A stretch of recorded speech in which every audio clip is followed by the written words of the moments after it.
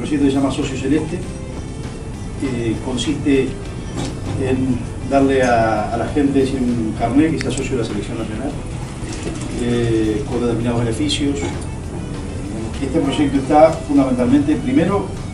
destinado a seguir ese vínculo fuerte que tienen ustedes con la gente, con el Uruguay, eh, y, no solamente con la gente que vive en Uruguay, sino con la gente de afuera, que lo comprobamos Latinoamérica. Todos ustedes son socios de la selección también, es un elemento más para, para identificarnos todos con lo que es este proceso de selecciones